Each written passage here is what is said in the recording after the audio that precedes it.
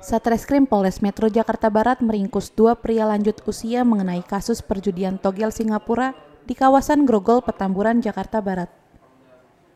Dua pelaku berinisial LPK dan RS memiliki perannya masing-masing, yakni pengepul para pemasang judi togel dan bandar besar. Kapolres Metro Jakarta Barat Kompol Audisoni Latuheru mengatakan penangkapan para pelaku berasal dari informasi masyarakat tentang adanya perjudian tersebut. Pada saat penangkapan, Petugas kepolisian sudah bertindak sesuai prosedur hukum yang berlaku, namun para pelaku justru menuduh petugas sebagai polisi gadungan. Salah satu tersangka merekam kejadian tersebut dengan narasi yang tidak tepat, kemudian disebarkan ke media sosial. Akibat perbuatannya, para pelaku dikenakan pasal 303 KUHP tentang perjudian dengan ancaman hukuman 5 tahun penjara.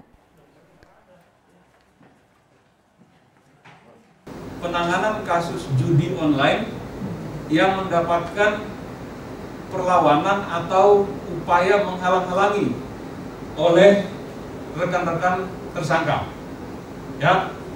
Jadi terhadap pembuat dan pengedar uh, video tersebut saya perintahkan Kasat Reskrim untuk melakukan proses hukum.